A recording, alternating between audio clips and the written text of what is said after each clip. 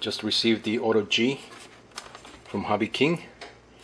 And this is what the package uh, includes.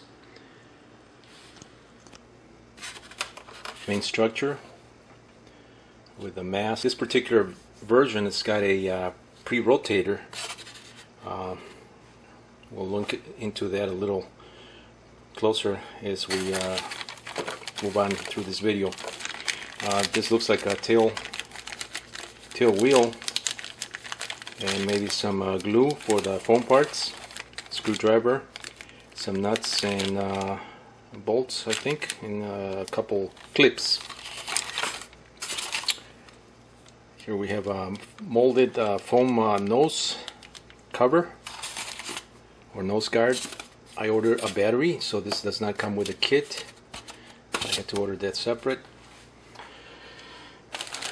comes with a propeller. This is a three-bladed propeller. I don't know how this uh, compares to the original Auto G since I never bought the uh, original one. But I think it's uh, very similar in size and also in the uh, components. We got the three-bladed propeller we got the landing gear. Actually this is a uh, it's a nice landing gear but uh, just from the looks of it I'm afraid that this is going to be a little too soft for the particular model for the size just my experience with these things because I make landing gears myself for as upgrades for other products. Very uh, very compact uh, instructional manual or user's manual. Looks like there's about uh, maybe uh, four pages here tail fins. Horizontal stabilizer. And the blades. These blades also look like the same ones that they use on the uh, original Auto G. They're foam with a plastic uh, leading edge molded leading edge. They're very nice blades foamy uh, molded uh, blades. But I'm afraid that this is not going to hold these parts right here and I think this is the weak link. This was the weak link on the original uh, Auto G the, these, the, the, these blades the, the, this part right here. And also the uh, the rotor head which is uh, looks like a very uh, very simple but uh, functional uh, rotor head or rotor plate and it's got some flex to it.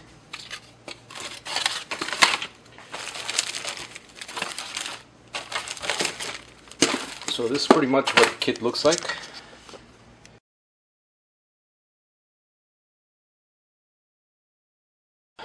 As many of the videos on YouTube already show, this is the weak link in, uh, in, in, these particular uh, kits. Uh, moving on to the model itself, pull this out. Okay, it's got a wooden uh, mast structure that supports uh, two servos for the uh, left and right. This would be sort of like an uh, aileron control. It also has a um, pre-rotator here. Looks like a gearbox with a one-way bearing sandwich in between this gearbox and it's got a DC motor at the rear. I'm assuming there's a set of gears in this gearbox to drive this one-way bearing and flex shaft. Tell there's a little bit of friction but just by feeling this turning the, the shaft and we'll just have to see how that uh, plays out when the uh, model is in flight.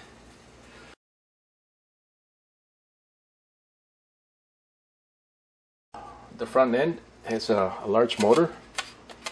This looks like uh, the typical blue Hobby King uh, brushless motors for park flyers, but it's a, a, little bit larger. It's a little bit larger because this model is uh, it's not that small. Uh, this distance from end to end of the body is about um, I would say it's about 13 maybe 14 14 inches long and there's another 14 inch in uh, in boom area here. Um, the servos, they seem to be uh, your standard uh, uh, standard servo, uh, nine brand servo. I don't know what brand they are. They are not marked, but they look beefy. So I don't think uh, the servos will have any issue um with the uh, forces that they need to uh, deal with when uh, controlling the, uh, the model.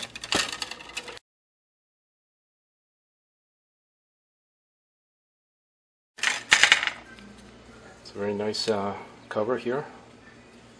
It's got a tab, there's a hinge and two magnets to uh, lock it in place. Uh, and basically what you have here is all the connections that are loose from the servos as well as the uh, two speed controllers, one for the DC motor that drives the uh, pre-rotator and the other ESC that drives the brushless motor, main propeller. So basically that's it. All you need to do is install a receiver and, uh, and the battery. Battery that I got is a 1300 milliamp hour battery, which uh, fits nice and snug inside the model. It's one of the recommended ones. This model is very, very compact. All the parts are in there. And unfortunately, if you want to maintain this model or repair something, if the motor goes bad, for example, the uh, pre-rotator motor or one of the servos that's embedded inside the body to control the tail surfaces, you're going to have to disassemble this and you're going to have to part this in the middle with a, with a knife or we'll have to glue that again. But hopefully these parts will uh, will last a good while that uh, that's not required. So that's uh, a look under the hatch.